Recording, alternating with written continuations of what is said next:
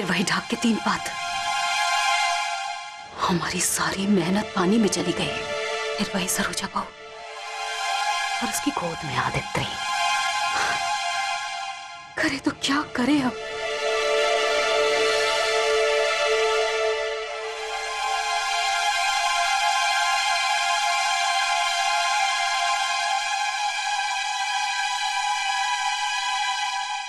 जी, नमस्ते। कैसी हैं आप? हम बिल्कुल बढ़िया। घर में भी सब ठीक है।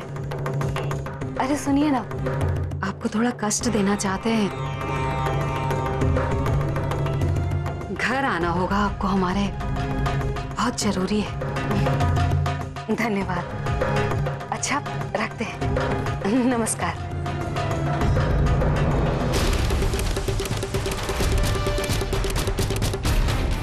जैसी बीमारी? ऐसा इलाज? तैयार हो जाओ मंजू अपने तमाशे का अंत देखने के लिए।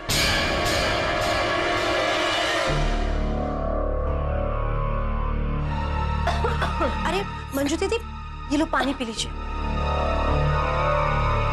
हम जानते हैं खांस खांस करना आपकी सांस फूल गई होगी। आप सो जाइए हाँ?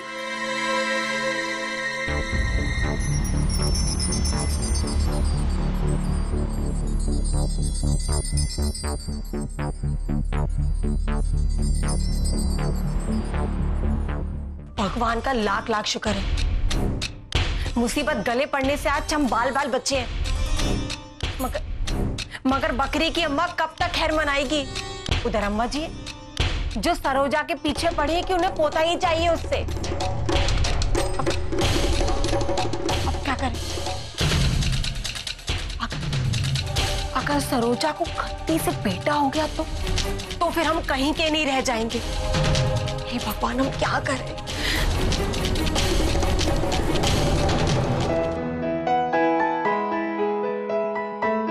दित्री आपको बिल्कुल डरने की ज़रूरत नहीं है क्योंकि आपकी चाची आपके साथ हमेशा है।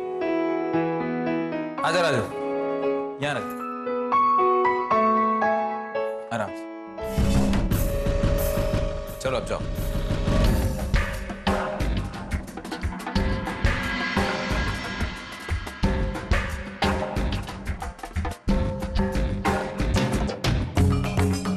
ये इतने सारे डब्बे कमरे में?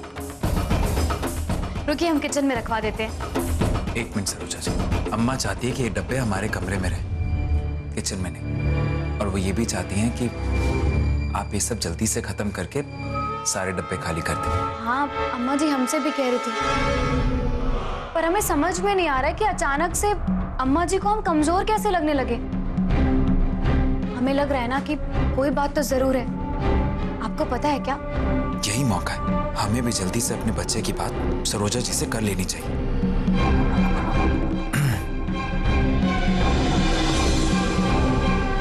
सरोजा जी अम्मा चाहती है कि आप ये सब खा के ना एकदम एकदम स्ट्रांग हो जाए तंदुरुस्त हो जाए अरे सरोजा ये काजू का डब्बा बाहर रह गया था और उसकी जगह बादाम के दो डब्बे अंदर आ गए। हम वही लेने के लिए आए हैं। वहीं पड़े हैं।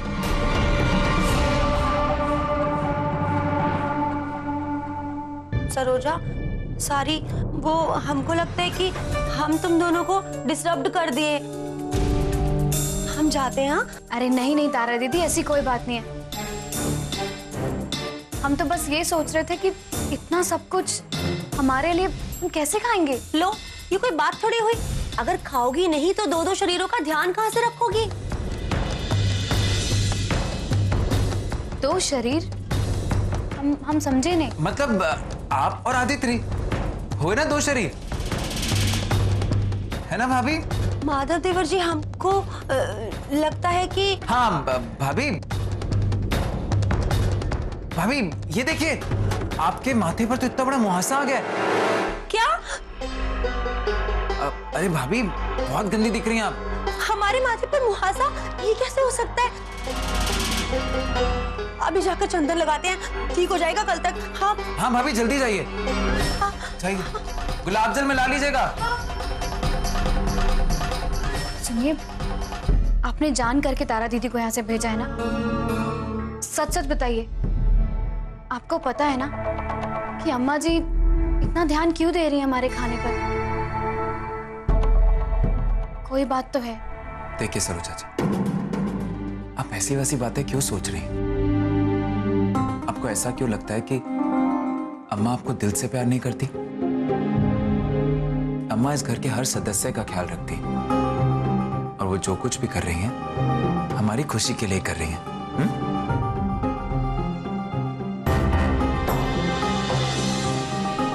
सरोजा जी, एक बात पूछे। अगर यही बात आपकी सास ने नहीं, आपकी अम्मा ने कही होती, तब भी आप इतने सवाल पूछती। नहीं ना? एक बार अपनी सास के कहे को अपनी अम्मा का कहा मान के मान लीजिए। कुछ बुरा तो होगा नहीं, भला ही होगा।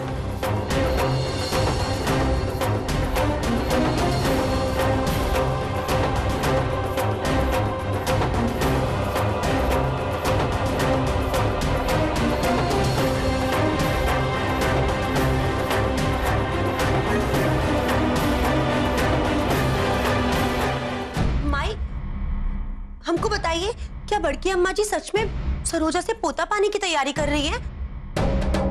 अच्छा माई, मान लीजिए कि अगर सरोजा को सच में बेटा पैदा हो जाए तो?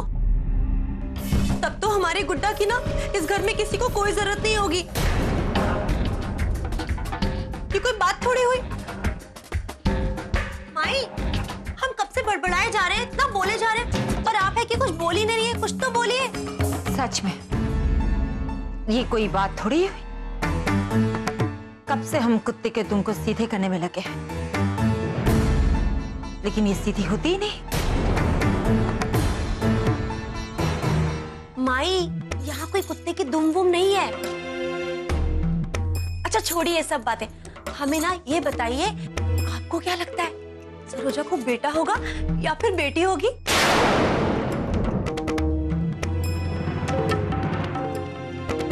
तुम सनक गई हो क्या तारा बहू कोई औरत गर्भवती होती है तो अंदाज़ा लगाया जा सकता है। लेकिन सरोजा बहू तो पेट से है ही नहीं। और दूसरी बात ये सब अंदाज़ा लगाना फालतू बात है। क्योंकि ये जानना भगवान के हाथ में होता है। किस औरत को बेटा होगा और किस औरत को बेटी। कलावती ओ कलावती। आए जी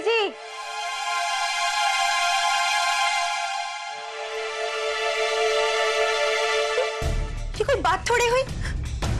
भगवान, अगर सरोजा को असली में बेटा पैदा हो गया ना तब तब तो कुछ नहीं होगा। हमारा गुड्डा ना उसी की नौकरी करेगा बस।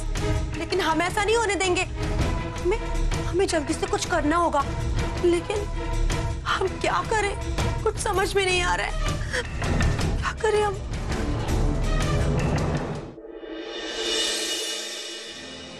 हमें कुछ नहीं सुनना।